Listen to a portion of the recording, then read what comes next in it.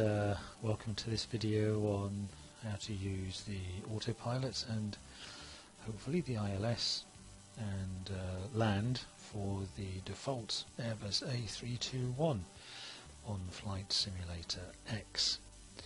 I've been playing this game for a little while now and learning how to get the autopilot and the ILS to work on this aircraft has been a voyage of discovery for me.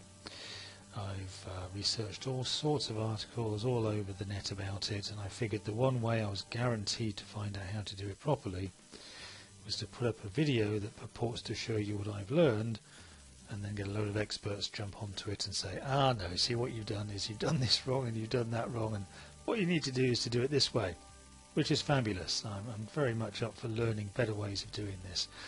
Here's what I've learned how to do to fly this by the numbers to get this to work. Um, so here you can see I've got loaded the standard Airbus A321. My current location is set to uh, Plymouth, which is a small airport in the UK. I've set real uh, world weather, and the current time and season is just set to now. I'm going to go into the flight planner, and for choosing an airport, I will just keep that set as Plymouth, and I'll choose the active runway because I don't want to waste video time here by uh, driving along the taxiway. And to choose an airport to go to I will fly to Jersey which is uh, just across the water not too far away. Nice short flight. Um, yep that'll do. I'll select IFR now for me this is fairly important because when you fly IFR you're given great instructions by the guys on air traffic control and um, this is part of what will make the whole AutoLand thing a lot easier certainly for me to explain and certainly for you to experience the first time. Uh, so I'm flying IFR I'll take low altitude airways. Uh, click find route which unsurprisingly will just be a direct uh, hook across the uh, water straight from Plymouth down to Jersey. Flying overhead Guernsey I believe my cruising altitude is uh, set to 5,000 feet, which I'll, I'll, just leave as standard. And um, I will save that. I've already saved it before, but uh, I'll just save it again and say yes to move me to the departure airport. So now we're ready to go. Um, because of the vagaries of my recording system, I'm going to pause the video here and then start it up again when I have got the aircraft loaded at the departure runway. So here we are in the aircraft and uh, we're ready to go. First thing I suggest you do is to take a look at the map and we're going to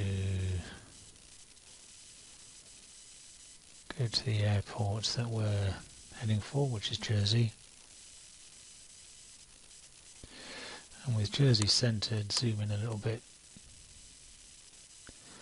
and with the airport selected click on it and it will come up with the ILS details. So select that click OK and it will give you the information for the ILS in fact there are two here. This one showing is the ILS for uh, runway 9 the identifier is there IJJ keep a note of that. The frequency we need to dial to get the uh, localizer is 110.9 and the actual heading of the runway is 86 degrees. And this Morse identifier you see down here dot dot dot da da da dot da da da is the beeping sound that some people call it on some of the videos I've seen that's transmitted by the localizer that identifies that localizer as being the ILS for runway 9 at Jersey. And we'll see a bit more about that a bit later on. But okay, we've got the information we needed. So to help make this easier to follow, I'm going to uh, select the 2D cockpit um, while I set up a few bits and pieces prior to taking off. So the information that we just uh, talked about Jersey is the first thing I'm going to enter. So I'll bring up the wireless information and select nav1. Now on nav1 I will enter the frequency for the localizer which is 110.9 so 110.9 and then move the frequency to active I'm going to enter exactly the same frequency into nav2 as well uh, the reason for that might become clear a bit later on you don't actually have to do this but I'm going to do it anyway um, I'll show you why a bit later Okay, so they're both in there now. That's fine. I'm also going to set the call button for nav1 active. What that means is that when we get in range of the localizer, it will start that beeping sound or transmitting the Morse code for ILS for runway 9, which is IJJ. So with all that done, just pop that up a little bit and then get easy access to hide the radio stack. With that done, I'm going to dial in the speed for the uh, course into the autopilot information. I'm going to choose a speed of 320 knots. Uh, the heading, I'm going to set the runway heading for now, which is 306. Um, I'll get instructions on changing that a bit later from air traffic. I think we're going backwards and forwards here. The course I'm going to set to the runway heading at Jersey. Now I don't need to do this, this is just a reminder for me uh, of what the runway heading is when I get to my destination. So I'm doing as much work up front so I don't have to do a whole lot of running around and, and dashing when I get near touchdown at the other end. Uh, for the altitude I'm going to click that over to the 1000 setting and dial in 5,000 feet as the altitude that we're going to run at. That's got most of that information set up. Uh, we're all pretty good to go. Let's speak to air traffic. We need to do this because we filed an IFR flight plan and also it's going to make our work a lot easier when we take directions from air traffic.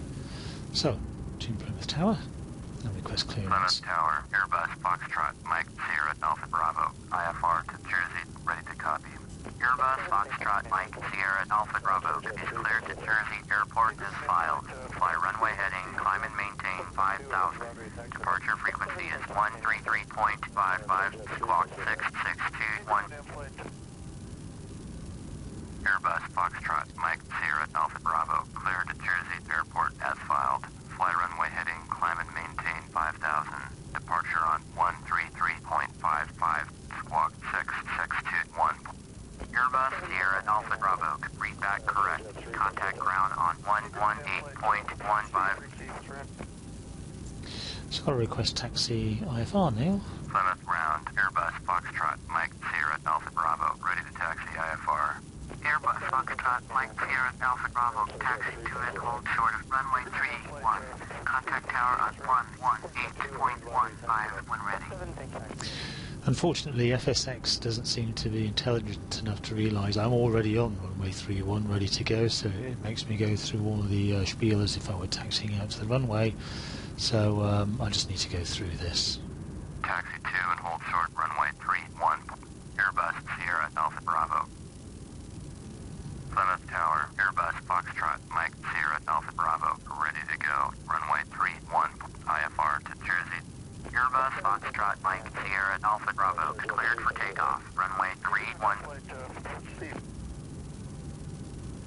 Cleared for takeoff. Runway 31.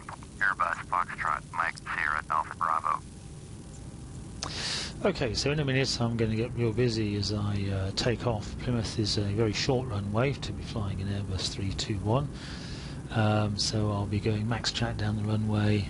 Um, as soon as I lift off, I'll cut the throttles to half power, otherwise I, I overspeed. I'll then uh, attempt to engage the um, autopilot here and the auto throttle here and I need to engage the speed by clicking on the centre of that button and the heading, so I fly the runway heading out by clicking on the centre of that knob. And finally, to uh, make sure that I don't go beyond my altitude, I'll click on the centre of that one there. Whilst I'm doing all this, air traffic will be busy helping me with all sorts of instructions, so, uh, um, well, let's just see how we go. Okay, so we're ready to go, throttles at max, take off the brakes, and off we go. Actually, now I come to think of it, I've no idea what the rotate speed is for an Airbus A321. I normally lift the wheel at about 120. Let's see how we do. Okay, so we're up. I'll lift the gear, autopilot on, auto throttle on, set the speed, set the heading, set the altitude. All seems to be going okay.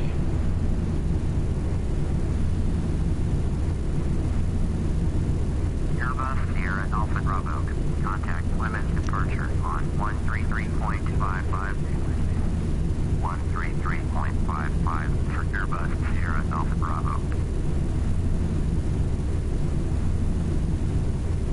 Limit departure Airbus Foxtrot Mike Sierra Alpha Bravo is climbing through 1,500 for 5,000.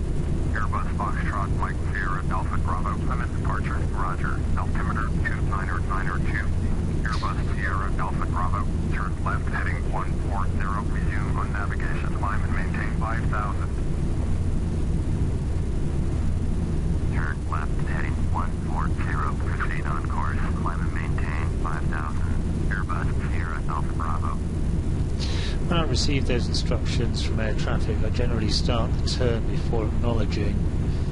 Um, because this is such a huge turn around to 140, unless I do it in increments, the aircraft might decide to take the shortest route and, and fly to the right instead of to the left as instructed by ATC. So I'll start the turn, get it moving on that turn, and then I'll keep pulling it around until I've got 140 ensuring that we keep going around in the correct direction.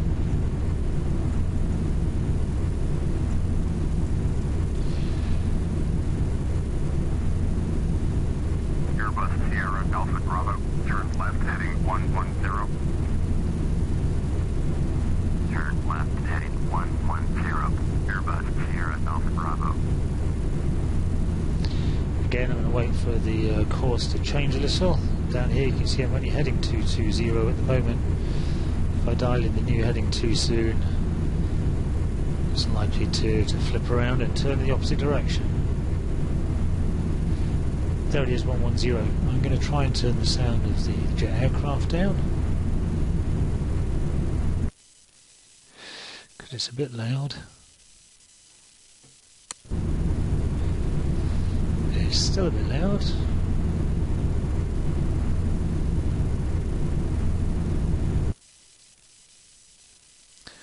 Let's try turning it all down a bit. Ah, okay, that's better.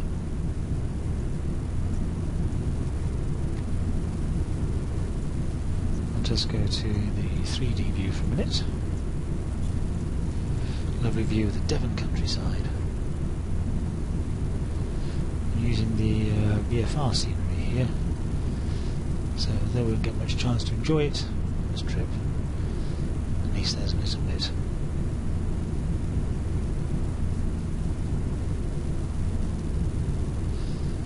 Okay, so we're heading across the sea. I'll switch back to the 2D cockpit. Now interestingly, coming across the MFD now, you'll see this purple line. This is our flight path. Believe it or not, because of the speed we've taken off and whatever, we're only just starting to come abreast of the airport that we took off from. But this course here is held in the um, GPS as well. If I tap Shift 3, that brings up the GPS here. I'll zoom out until we can see the entire trip. There it is. So there's the flight already in. And I can engage the GPS, and I will in a little while, uh, and follow that course direct to Jersey uh, when they give us clearance to uh, fly on our own navigation. Um, once they tell us uh, or give us new directions, I'll take us off uh, flying from GPS. I'll hit Shift 3 again to close the screen shortly the uh, air traffic will give us a, a new direction, which um, unsurprisingly is going to take us along uh, what our flight path should be. They'll then tell us to resume our own navigation. I'll engage the GPS at that stage, and uh, the GPS will take us along for for a little while. But as you can see, with the auto throttle, throttle set, um, our speed, which we dialed in at 320, is correctly reflected here on the MFD, the multifunction display. Our heading, which we set at 110, again you can see on the MFD, that's the course we're flying. Uh, the course, that's just the runway heading at Jersey when we get there. Our altitude should be set at 5,000 and again here over on the MFD you can see that is the case.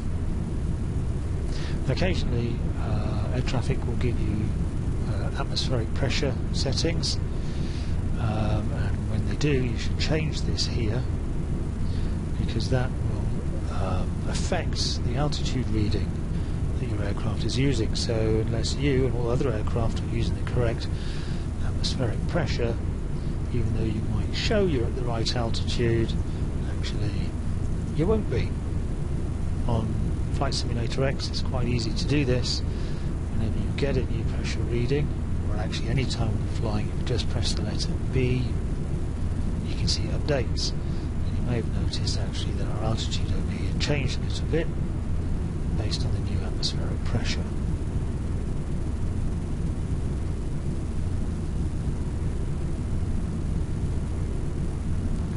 so far, apart from the takeoff, where I did a little bit by hand, everything at the moment is being flown by the autopilot. Airbus Sierra Alpha Bravo, turn right heading 135, resume on navigation. So there's our uh, permission. I generally dial in the heading and then acknowledge the instruction. Turn right heading 135, proceed on course. Airbus Sierra Alpha Bravo. If you don't acknowledge the transmission, eventually they start to nag you. That gets a bit irritating. So it's settling into course 135 now. Airbus Sierra Alpha Bravo, contact Manchester Center on 118.775, I'll just acknowledge this from traffic. going to 118.775, Airbus Sierra Bravo. I think when I contact Manchester, they just put me straight onto London. Let's see.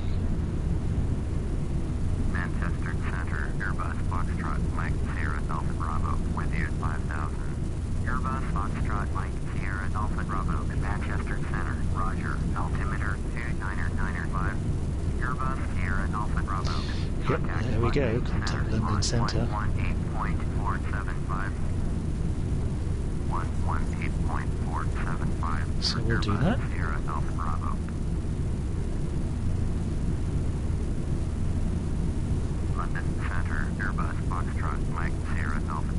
with you. Airbus Foxtrot Mike Sierra Alpha Bravo, London Center, Roger, altimeter 29996. So with 299.6 we'll press B, see the pressure's changed here, World travel 39226 heavy, your the altitude will change as well. So air traffic's talking with somebody else now, might recall earlier, they said we could resume our own navigation. So I'm going to engage our GPS. And the first thing uh, I need to do to do that is to press this button to switch between nav and GPS. So I've selected GPS. The next thing I need to do is I need to press this button here, which is the nav hold switch. Now, it's marked LOC, which is short for localizer, and we'll be using that later. But it also works with GPS. Very confusing stuff. But once I tap LOC, it now engages with the GPS, and it will fly this purple line here, which is the direction that we need to head in. Again, this has all been done by the autopilot. There's there's no manual flying involved here uh, at all. So it's uh, sit back, have a nice cup of coffee, tea, whatever your poison is. This is as exciting as flying gets, apparently. Needless to say, we're going to get very, very busy when we come in uh, towards the landing. As much as we can do before then to prepare is all for the good.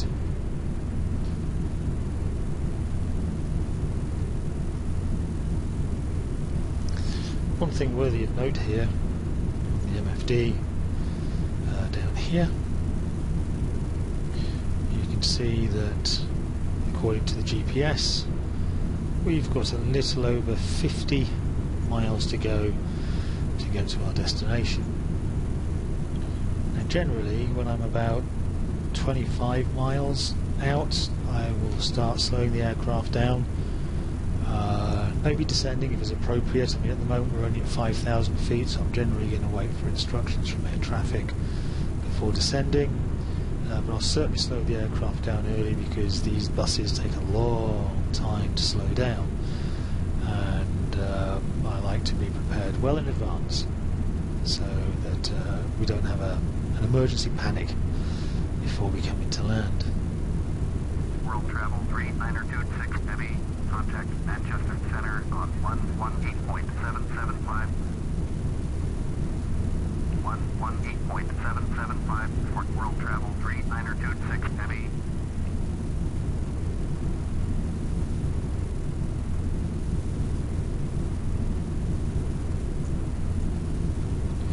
Other things perhaps worthy of note here on the MFD.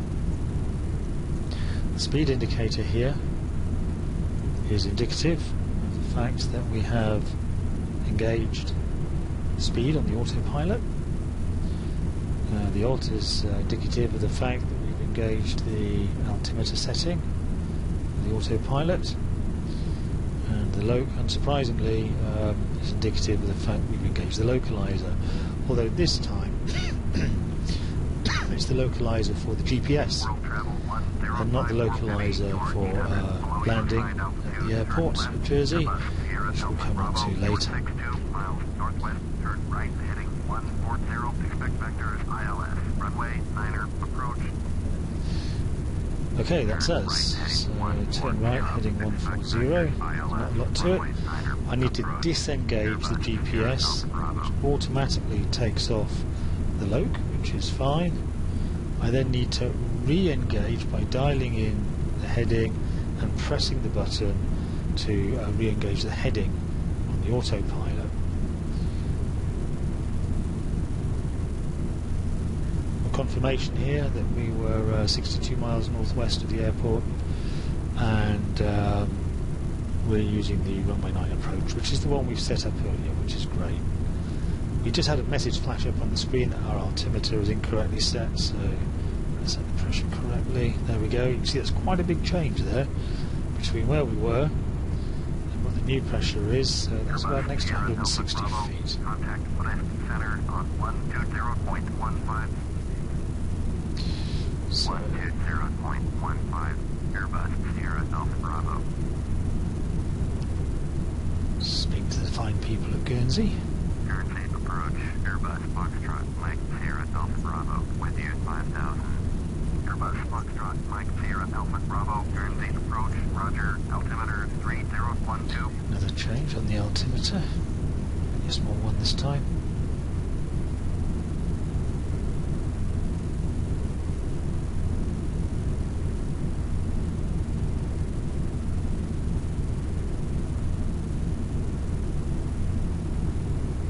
Notice because we're not using the GPS anymore, we have no reading here for how far away we are from the airfields. We're now flying a heading that's been given to us by air traffic and we're very much uh, working with information that they give us at this stage. Again on the MFD notice that the loc indicator has gone out and the heading indicator has come on indicating that uh, we have got the heading working on the autopilot.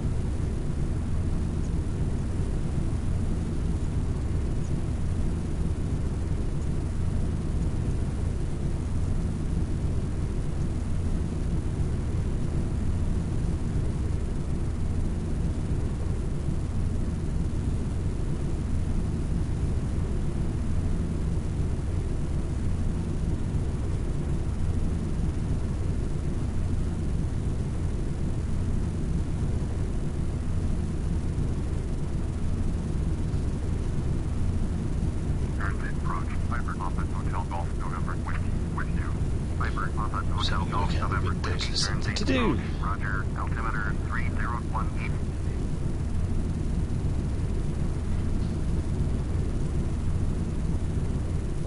Guernsey departure, Cessna, Golf Quebec, Lima, Romeo, Yankee, is type Cessna, Skyhawk, 2 miles southwest of Guernsey. Request flight following. Cessna, Golf Quebec, Lima, Romeo, Yankee, Guernsey departure, squawk 5076.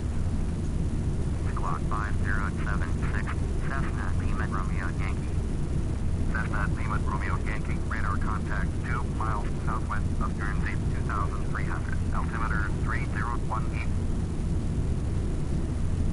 Copy. Cessna, Lima, Romeo, Yankee. Interestingly, air traffic turned us on to heading 140, which was intended to keep us on the flight path, but uh, as you can see on the MFD here, we've got a crosswind, Airbus which is blowing Delta us left. Bravo, turn right heading 175. Cessna, Lima, Romeo, Yankee. So air traffic's going to turn us right before turning us left in a minute to, to get us back on track. Cessna, Lima, Romeo, Yankee. How's the traffic? Guernsey departure, Piper Golf, Charlie Bravo, Whiskey Kilo. We can't get to respond to air traffic now because of all the other chatter going on, so we're going to. Come off course for a little bit. Whiskey Kilo, Guernsey departure, squawk 4237. Turn right heading 175. Airbus Sierra Alpha Bravo. get in there quick. And there we go, he's bringing us back left onto heading 140. 140. Squawk 4237, Piper Bravo, Whiskey Kilo. Piper Bravo Whiskey Kilo radar contact 4 miles southeast of Guernsey 2500 altimeter 3018 turn left heading 140 Airbus Sierra Alpha Bravo Copy. Piper Bravo, Whiskey Kilo. Difficult to keep this going with so much chatter going on in between aircraft, but um, just try and get in there when we can. So, far again, we're very much at the mercy of our traffic. We uh, have no information down here about the runway localizer. Um, we don't know how far away we are yet from the airport. Uh, there are ways we could find out, but for now, let's just leave ourselves in the capable hands of, of air traffic and uh, fly accordingly. Nothing else that should help to prove that uh, flying IFR, being directed by air traffic, can make these journeys A lot simpler.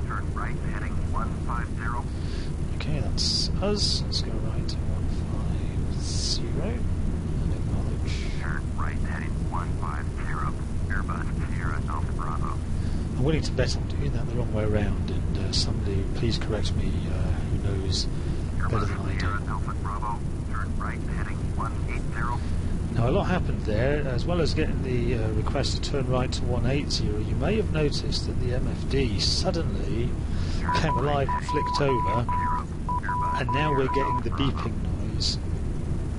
Uh, now, that beeping noise is Jersey identifying itself as IJJ.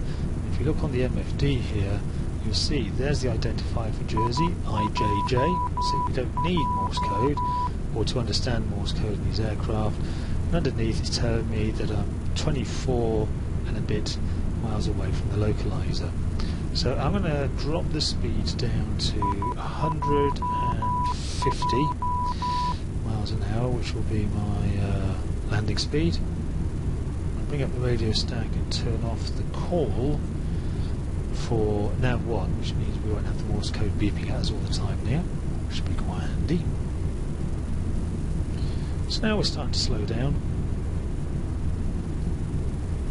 get ourselves uh, ready uh, and prepared for the landing phase. And while we're doing that, we're going to change this MFD from the ARC, which it's currently got, to the ILS. I do that by twiddling this knob around to ILS.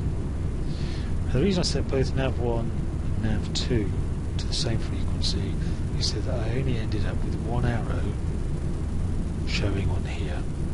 You can actually have two. I only wanted one to keep things simple. Another thing to note is that the reason I set the course on here is that is the blue line. This blue line is the course. So that's the direction that the runway is.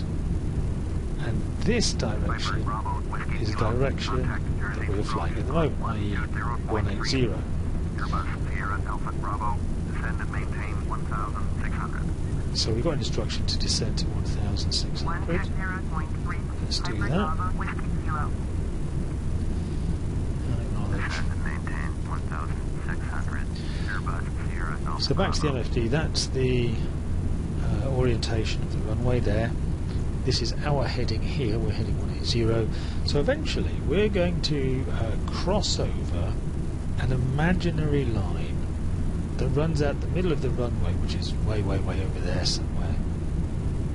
And as we get close towards that imaginary line, this line up here will start moving toward us. And we'll then need to turn left to intercept that imaginary line coming out from the runway. And doing that, that's how we capture the localizer. That is the straight line that takes us in to the runway.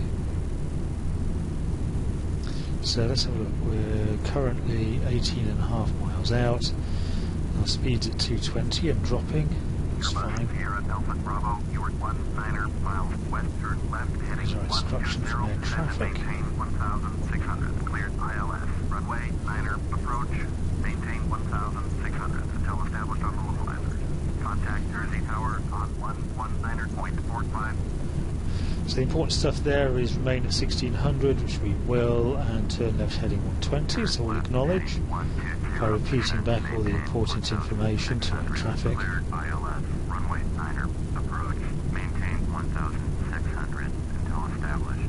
Tower on 119.45. Airbus Sierra Alpha Bravo. So we'll present here with tuning in Jersey Tower. And we'll Jersey contact the tower. Airbus Foxtrot Mike Sierra Alpha Bravo is 17 miles west. Inbound ILS. Runway niner approach. Airbus Foxtrot, Mike Sierra Alpha Bravo, Jersey Tower, fly straight in runway niner, altimeter 3018. Altimeter's good. And Fly straight in. Runway we've got a nice straightforward Airbus pattern just to fly straight in. If we go back down here to the MFD, here's our direction, big arrow. And the blue line is the line projecting out from the, uh, the orientation for our runway 9 at Jersey. So we're going to be turning left a little bit as we get towards the localizer. Now, to be able to do that, for it to grab onto the localizer, we need to enable it. So nav should be on, and then we hit the localizer button. So now we've set the aircraft up to detect the localizer beam, and then lock onto it, and to fly it straight towards the runway. And to get ready for landing, I'll drop the gear. This open, make sure that the gear is down and locked, which it is. Then I'll start to drop the flaps. The flap indicator is over here. We go for full flaps for this landing at Jersey.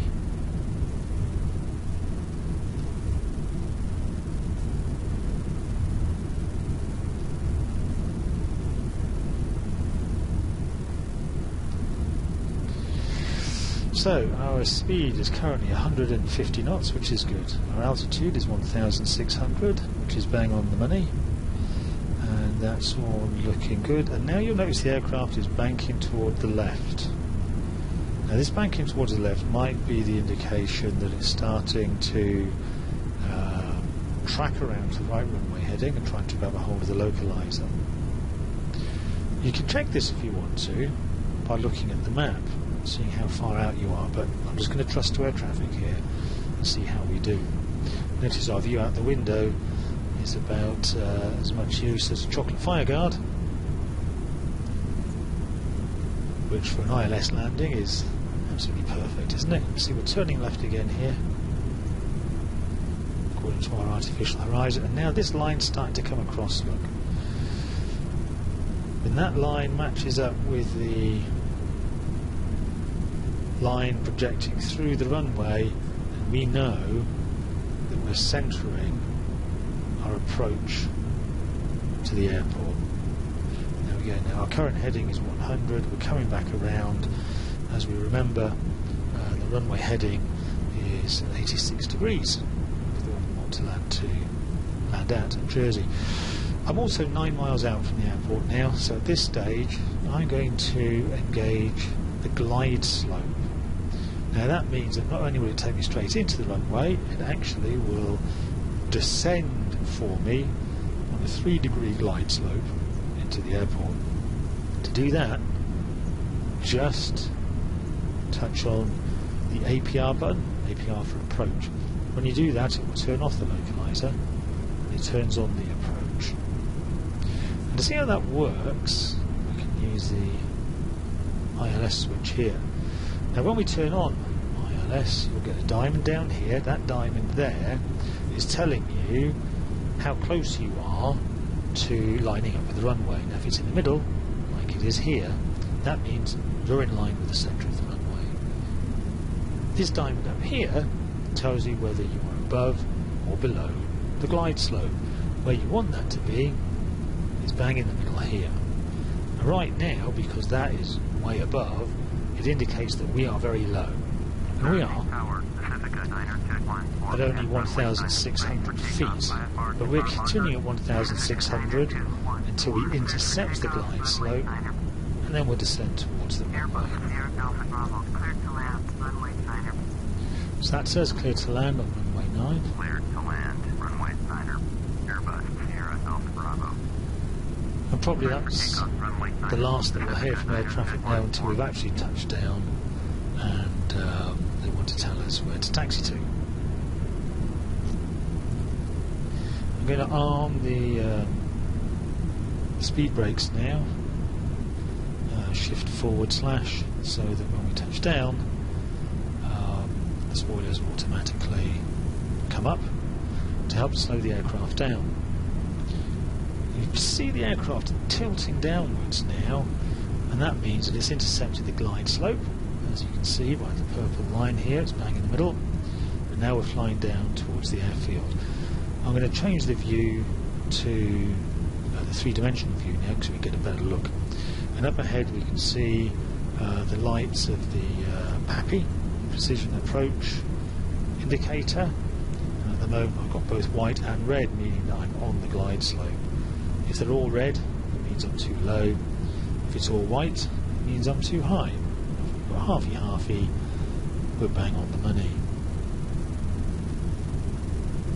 So, everything good so far. Quick squint outside the aircraft just to make sure. Yep, wheels are down, the flaps are down, it's all looking good. Short, runway niner. Traffic is Bombardier, exceed 700 on the runway. Happily chuntering into land.